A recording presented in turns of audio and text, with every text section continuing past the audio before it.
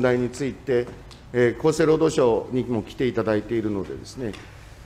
あの、昨日小池知事は、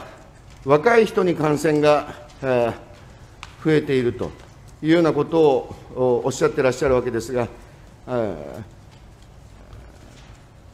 検査をしている人数以上に感染者が増えることはないわけで、えーとにかく、えーどういう人たちをそもそも検査しているのかということがまあ大事で、そのそも母数、母集団がどうなっているのかということについては、ちょっとつまびらかになかなか情報が明らかにされないのでわからないわけですが、他方で、え原因不明の肺炎で亡くなられて、えいらっしゃる方々が多いのではないか、あるいは、えー新型コロナウイルスに起因する肺炎で亡くなっているんだけれども、検査されずに単なる肺炎として、え亡くなられていく方が多いのではないかというような疑問が呈されて、おります。で、えー戸籍法に基づく、法務省さんが所管する戸籍法に基づく死亡届、えーですが、死亡届のこう法務省のホームページにアップされているお医者さんたちにこういうふうに死亡届を出してくださいねというガイドラインなどを見ますと、死因の欄にですね、病原体をちゃんと書いてくださいというようなことが書かれています。したがってあの原因不明の肺炎で亡くなられた場合、その方が新型コロナウイルスに起因する肺炎であったか否かというのは、きちんと調べなきゃいかんというふうに、私は感染状況をですね、しっかり把握するためにも思うわけでございますけれども、厚生労働省としては、今、いかなるふうにお考えかということを教えていただきたいと思います。厚生労働省生活衛生食品安全審議官、浅沼和成君。えー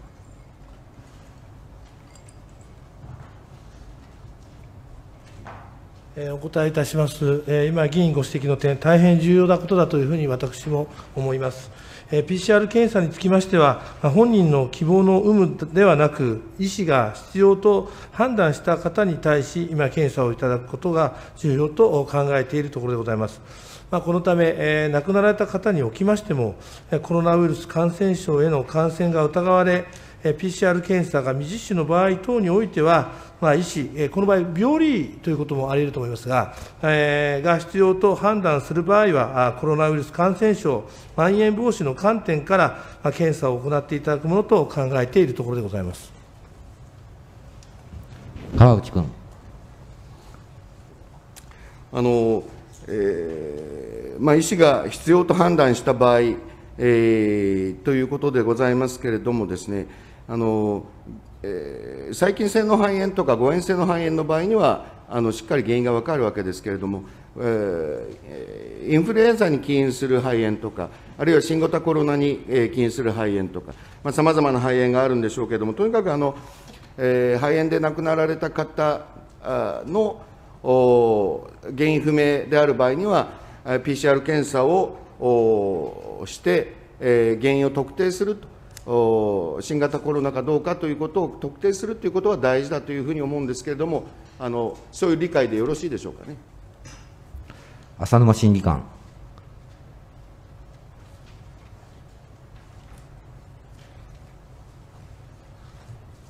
お答えいたします。あの議員ご指摘のとおり、死因を正確にできる限り把握すること、これは大変重要なことだというふうに考えている次第でございます。まあ、ですので、え亡くなられた後に、えどのような肺炎だったかということを、え確定することはあ非常に重要なのですけれども、まあ、あくまで例えば他の病原体の可能性がある場合に、えー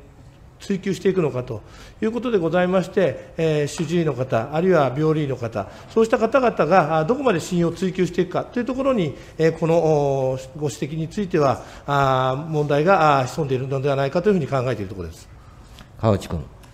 まあですね、あのとにかくあの日本は PCR 検査数が少なくて、アメリカ政府からもその指摘を受けたりしてるわけですよね。であのぎ疑似症サーベイランス、新刊ね、疑似症サーベイランスの通知と、行政検査の通知と2通出てるんですね。で、保健所を全部通すと、疑似症サーベイランス通知の方が重く見られるので、結局、重症、重症も重症、大変に重い人しかなかなか検査できないっていう体制になっていることが、日本の今、一番の問題なんです。だから疑似症サーベイランスの通知を外して、